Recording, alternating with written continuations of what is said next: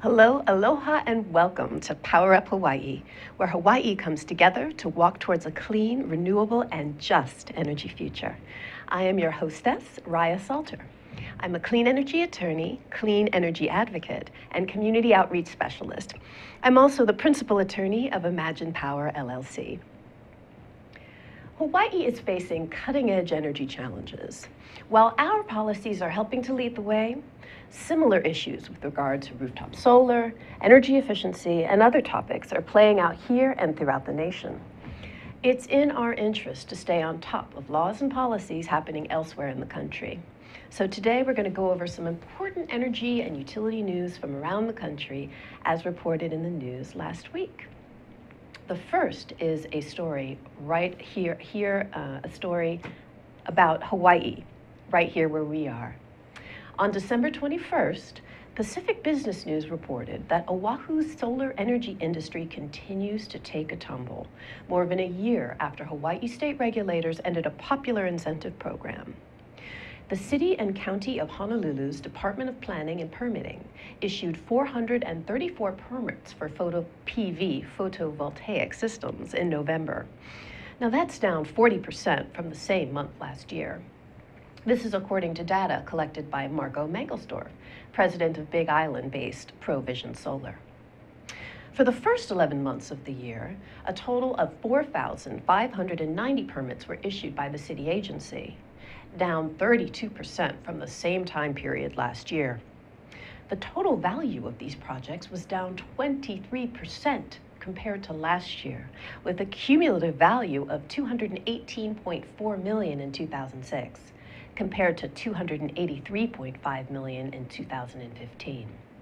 This means that there's less money in the economy coming from the solar industry in Hawaii. There's also been news on solar on similar issues um, in other parts of the country. Let's take a look at what's been going on in Nevada.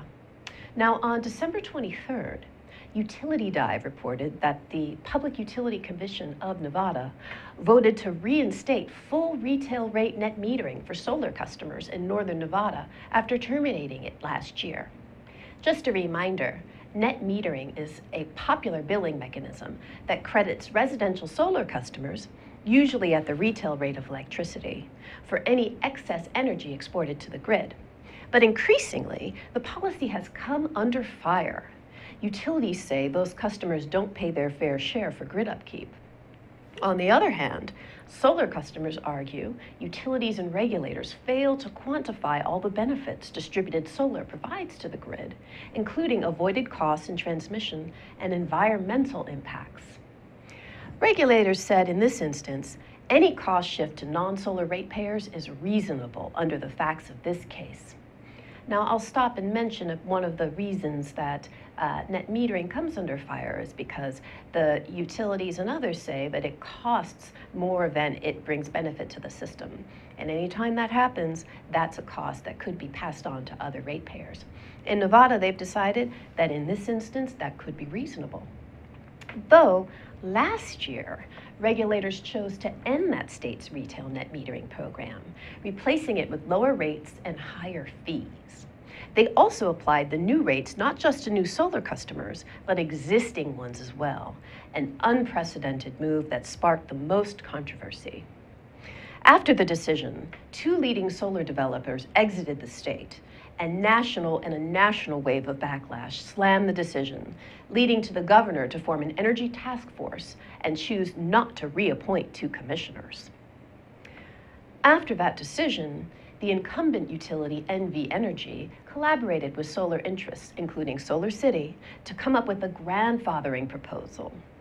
Solar City, in conjunction with the Natural Resource Defense Council, uh, caveat, I used to be an attorney for the Natural Resources Defense Council, also produced a study showing rooftop solar provides a net benefit of 1.6 kilowatts per hour. With this win for solar advocates, it appears that the solar sector in Nevada is on course to reclaim some of the financial ground it lost through the decision last year. However, the reinstatement is confined to less than 2,000 customers. It remains to be seen whether or not this decision will spread to the rest of Nevada. Also, important and interesting news on solar and net metering coming out of Arizona. In a complete different result than in Nevada, Arizona regulators voted to end retail net metering in its value of solar proceeding. On December 23rd, Utility Dive reported that Arizona regulators voted 4 to 1 to eliminate retail net metering and replace it with a reduced compensation mechanism for new solar customers after a two day proceeding that focused on the value of solar. This is according to the Arizona Republic. The compensation rate for new solar customers will be decided through a rate case, and existing solar customers would keep their original rates for 20 years from the date of interconnection. An administrative law judge recommended that utilities buy the excess rooftop solar at an avoided cost rate. Representatives from Vote Solar and the Alliance for Solar Choice said such a reduction will trim the compensation about 30% for solar customers. The commissioner said they didn't really want the reduced credit to fall more than 10% in a given year, but acknowledged the initial decline will likely be more than that. In other news, moving beyond solar, clean energy is surging in Las Vegas. As reported by the Huffington Post on, in December, the city of Las Vegas is now powered entirely by renewable energy. Las Vegas just became the largest U.S. city to rely solely on green energy to power its municipal facilities. City officials announced that all Las Vegas city facilities, from government buildings to streetlights, are now running entirely on renewable energy. The achievement marks the completion of the city's nearly decade long goal to fully transition to clean energy only a project that was expedited after the city partnered with public utility company NV Energy almost a year ago. While all government facilities are now only powered by renewable energy, many residential and commercial buildings are not. Officials were able to make the announcement after Boulder Solar One, a massive solar array in the southeast corner of Nevada, went online last week.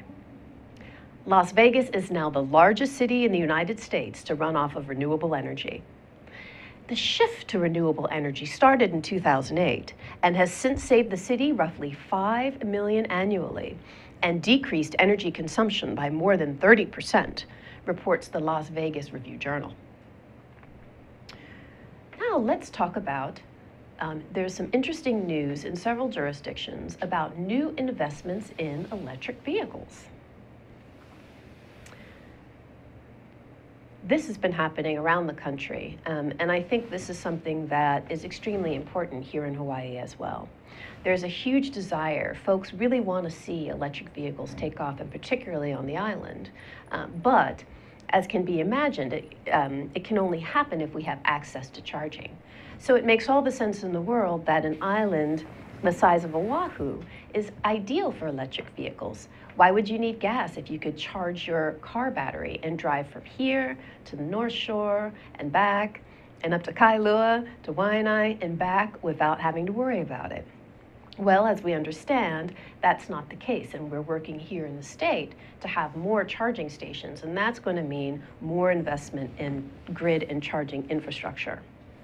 Now, this is work that is happening across the country as well. So let's think about, let's go ahead and talk about what is happening in North Carolina. As reported by Metering and Smart Energy International, Duke Energy will invest $1 million into EV infrastructure in North Carolina. To do this, the utility will partner with multiple institutions, including universities, owners of shopping malls, and providers of electric vehicle charging technologies for the implementation of this project. The utility will provide grants of up to $5,000 for the purchase and installation of the electric vehicle charging ports. Recipients of grant funding will also be responsible for the operation and maintenance of the charging stations. The EV charging stations will be built in, ar in areas including shopping centers, libraries, and public parking spaces. The project will increase the number of public EV charging stations in North Carolina by 30%.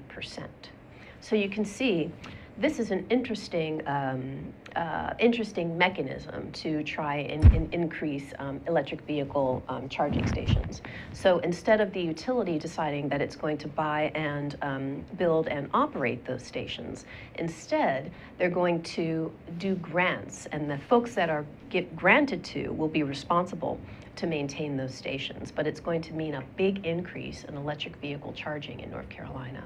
So we shall see um, what that means in terms of does that also increase electric vehicle um, ownership um, and just the enjoyability that electric vehicle owners have with their cars? And I suspect the answer to that will be yes. It is also, um, there's also big electric vehicle activity um, happening in California. As reported by the Smart Grid Consumer Collaborative on December 23rd, Pacific Gas and Electric will soon bring up to 7,500 electric vehicle chargers to Northern California. The California Public Utilities Commission unanimously approved a decision directing PG&E to move ahead with what will be the country's largest utility-led electric vehicle charging deployment. The Charge Smart and Save plan includes 7,500 electric vehicle charging points in workplaces, multi-unit residential buildings, and disadvantaged communities, and is capped at a cost of $130 million. $130 million is quite a lot of money. We will see um, what the 700, what the 7,500 um, new electric vehicle charging stations ultimately ultimately means for the electric uh, vehicle um, industry and um, owners and drivers of electric vehicles in California. Now we are going to take a break and then we will be back with more news from energy from around the country on Power Up Hawaii.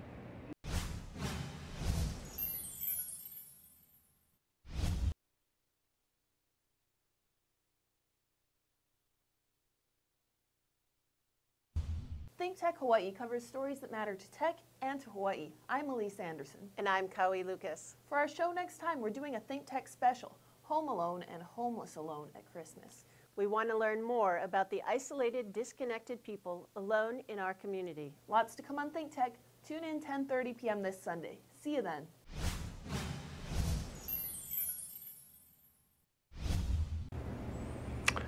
Hello, this is Martin Despang. I want to get you get excited about my new show, which is Humane Architecture for Hawaii and Beyond. We're going to broadcast on Tuesdays, 5 p.m. here on uh, Think Tech Hawaii. Hello, and welcome back to Power Up Hawaii. I am your host, Raya Salter, and today we're talking about news from around the country. Um, Today, we're, we're reporting on news from around the country on clean energy. Now, one thing that is very exciting is that multiple states are looking at big new plans for renewable portfolio standards and energy planning. Now, renewable portfolio standard means uh, is when a um, state or entity or organization decides they're going to mandate that they want to have a certain number of renewables come from the electricity sector by a certain date. Now, these are good because they set the standard. They let industry know that that particular state is open for business, and they direct utilities and others to know that we are going to reach um, renewable energy targets by, um, by a certain time period. So new renewable portfolio standards um, have been cropping up across the country, and we've had some news on it just this week. First, in Michigan, there is a new RPS in Michigan where officials have enacted a major overhaul in energy policy, which includes a new portfolio standard. As reported by the Detroit News on December 21st, Michigan Governor Rick Snyder has, has, has begun a policy overhaul that establishes a new long-term planning process for traditional utilities as they continue to retire coal-fired power plants and consider replacements. This plan increases renewable energy requirements and lifts a cap on energy efficiency incentives. The new policy will require Michigan utilities to buy or produce at least 15% of their energy from renewable sources by 2022. The renewable portfolio standard, pushed by Democrats and environmental groups. Caveat I have worked for several environmental groups, including the Natural Resources Defense Council and the Environmental Defense Fund. Builds on the 10% standard utilities already met in 2015. The law also creates a new goal of meeting 35% of the state's energy needs through waste reduction and renewable sources by 2025. It increases incentives for utilities to offer efficiency programs to their customers. Now, I'll talk about why incentives for energy efficiency can be so important. As you can imagine, you, many, the, the traditional utility model means that a utility earns more money when it sells more energy. So you can imagine an energy efficiency project. That's something that works to actually save energy and have customers spend, um, uh, consume less energy. So in some instances, customers spending less money on energy um, could cause the utility to lose money, and that is against their business model. So there are a number of ways that utilities can be incented to uh, continue to pursue energy savings, which actually are a win-win for the system. So it is good news when we have more incentives for energy efficiency. So this final plan dropped a proposed charge for energy customers who propose in net metering programs, generating their own supply through solar panels or other renewable sources to add back to the grid.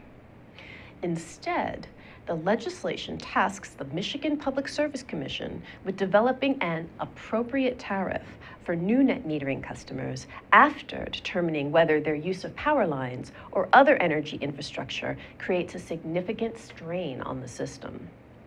According to the Detroit News, it is unclear just how the legislation will ultimately affect ratepayers in Michigan, who pay currently very high rates of electricity. This news out of Michigan is important, as that state will be looking to Hawaii as we develop our own new tariffs for net metering in upcoming dockets.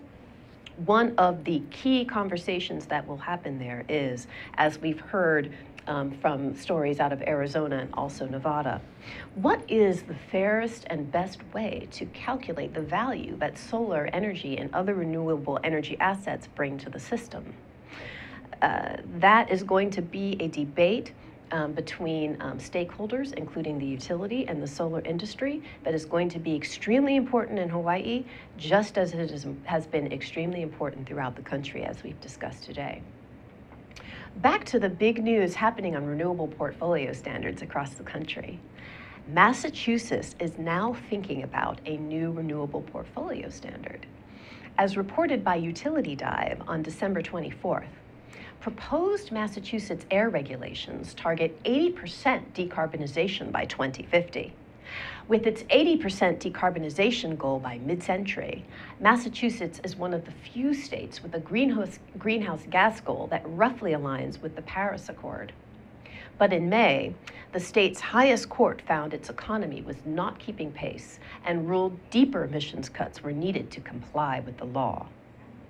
Utilities under this new contemplated plan would be required to purchase credits for clean generation in increasing proportions, starting with 16% of their retail load in 2018 and growing to 18% and then 20% in 2019 and 2020, respectively. Renewables, nuclear, and um, CCS fossil plants would generate the um, uh, credits, that's uh, carbon capture and sequestration. After 2020, the standard would increase 2% a year until it reached 80% of each retail provider's portfolio in 2050. So it is exciting news about progress on renewable portfolio standards from across the country. However, there have also been, um, for what a clean energy advocate like myself would consider distressing news um, for the Clean Power Plan. Now, the Clean Power Plan is the um, is the set of rules and regulations that the Obama, Obama administration put together designed to reduce greenhouse gas emissions from the utility sector in the United States. It was the Clean Power Plan that allowed for President Obama to go to Paris in 2015 and make the um, um, extremely important accord to, uh, to curb greenhouse gas emissions growth um, amongst uh, nations. So, as we have heard, um, President elect Trump has said that he would like to roll back those regulations. And now we are seeing that states are asking for a rollback of the Clean Power Plan. So, while some states, as we discussed, have taken leadership on clean energy, others are pushing for an end to those federal clean energy rules. As reported by Utility Dive on December 23rd, two dozen states have sent a letter to Vice President elect Mike Pence and other Republican leaders calling for the incoming administration to roll back the Clean Power Plan on its first day in office. Led by West Virginia Attorney General Patrick Morrisey, the states asked that President elect Trump issue an executive order instructing the U.S. Environmental Protection Agency to not enforce the rule. Scrapping President Obama's signature climate rule was a campaign promise Trump made in September, along with others to roll back regulation and empower fossil fuel mining and use. So, this is, uh, I think, an important thing also to take note of. While it can seem um, very distressing that we could get um, so many states deciding to um, uh, wanting to not want to participate in the Clean Power Plan. I think it's important to understand that the way that the Clean Power Plan was designed, it was always designed where states were going to have a lot of options um, in how they decided to um, uh, pursue greenhouse gas emissions. So there, the states that were, many of the states that are now asking for the rollback are probably those who would have elected for the very lowest um, level of requirements from the rule. The states that are progressive on clean energy, we hope and believe, should be free to continue to pursue um, clean energy policies. Now, that's not a promise, but that is, um, that is a, um, clearly a hope. Uh, now, we're going to take another um, short break, and we'll be back with more news from around the country on uh, clean energy. Hi, I'm Ethan Allen, host of Likeable Science on ThinkTech Hawaii. I hope you'll join me every Friday at 2 p.m. to discover what is likable about science. We bring on scientists of all ilk, astronomers, physicists, chemists, biologists, ecologists, and they talk about their work, and more importantly, they talk about why you should talk about their work, why you should think about their work, why you should like their work. I help them bring out why their work is understandable, why it's meaningful, why people should care about it, why people should support science. We have a good time. We talk about current uh, events of interest. We talk about uh, historical events sometimes. We dig deep into their research, why they do, what the joys and delights and frustrations of their work are. And in all, we, we show a, a real world of science, a real world of likable science. I hope you'll join us every Friday at 2 p.m. Hi, and welcome back to Power Up Hawaii. My name is Raya Salter, and I am your host today. We're talking about clean energy news from around the country as reported in the last week. The next story is something that you may not have thought very much about, but could have important implications for the energy system, and that is the energy implications for legal marijuana. On December 23rd, GreenBiz reported on the need to plan for the electricity demand brought on by the new and growing legal marijuana business. Another issue that will also be important for Hawaii, or could be important for Hawaii in the near future. Now, on November 8th, voters in California, Massachusetts, Nevada, and Maine voted to legalize recreational marijuana joining Colorado, Washington, Oregon, Alaska, and the District of Columbia, where it's already legal. This means some 67 million Americans will live in places where recreational pot is legal, an almost 300% increase. And this means huge new demand for electricity. Over 90% of legal marijuana is grown indoors, where it requires high intensity lighting and climate control, giving grow facilities energy densities similar to those of data centers. In 2015, Colorado's marijuana industry consumed 300 gigawatt hours of electricity, including over 2% of Denver's total demand. Okay, wait a minute, let me say that again. 2% of Denver's total demand. The Pacific Northwest is expected to see marijuana load on par with electric vehicle load over the next 20 years. California and the other new states may see several te- terawatt hours of new demand, comparable to the, and we don't, I can't, I think that might be the only time I've said that out loud, a terawatt, comparable to the entire demand for Washington, D.C. or Rhode Island. So I think it's important to say, folks, growing pot is a highly energy intensive business who would have thunk it? And this is actually, there's nothing really humorous about it when you think about it, because if we start talking about um, having additional or more fees um, for marijuana growers, that's going to mean a big cut to the bottom line, and we could see this being a big political fight. And it could also be a problem if all of this load happens at peak times, as this could cause the need for upgrades on the energy system. As reported by GreenBiz, states may wish to consider time of use rates or special demand charges that apply to legal marijuana growers. Another trend that has been happening throughout the states is new emphasis on grid modernization. This is something that we're seeing in Hawaii as well, where our electric utility has come forward with a plan for smart grid, which can also mean smart meters and better ways that the utility can get information from customers and customers can get information from, to the utility to help us save money and save, um, and save energy at the same time. But this, of course, is an expensive endeavor. Yet, our grid, as it currently stands, is aging dirty and polluting. So we've got a 100 year plus grid that needs modernization. As it turns out, uh, more jurisdictions across the country are beginning to grapple with this. On December 23rd, Utility Dive reported that four U.S. governors have rolled up their sleeves to tackle grid modernization. Formed three years ago, the National Governor Association Center for Best Practices on Energy and the Environment and Transportation has had an increasing focus on the power sector and how to modernize the electric grid. Now, Kentucky, Oregon, Rhode Island, and Washington will now escalate their involvement with this division. A policy academy, the organization says, will build on modernization efforts going on in more than two dozen other states. Of the four states, Rhode Island is the only one launching a grid modernization proceeding to look at ways distributed energy resources can be used to meet system needs. Whether the other three will follow suit remains to be seen, but this latest move underscores the growing interest among states to shore up the grid and find more cost effective ways to merge smart grid technology onto the grid.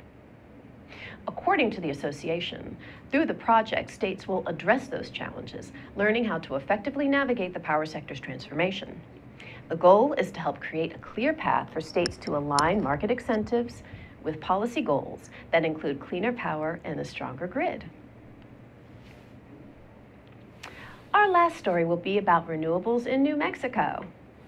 On December 23rd, Utility Dive reported that Kit Carson Electric Cooperative in New Mexico has announced plans to serve its 29,000 customers with all renewable power within six years. But it needed a big decision from the federal regulators and help from a solar developer to help bring the concept together, as reported by PV Magazine. A June decision from the Federal Energy Regulatory Commission upheld cooperative power providers' rights to purchase energy from independent renewable generators, nixing the terms of a contract Kit Carson had signed with the Tri State Generation and Transmission. FERC's decision, according to PV Magazine, opened the door for Guzman Renewable Energy Partners to purchase Kit Carson's contract for $37 million and agree to develop solar facilities in excess of 30 megawatts for the cooperative. So, that wraps up another edition of Power Up Hawaii. I hope that you've enjoyed um, highlights from around the country on this week's Energy and Utility News. Thank you, mahalo, and aloha. I'm Raya Salter.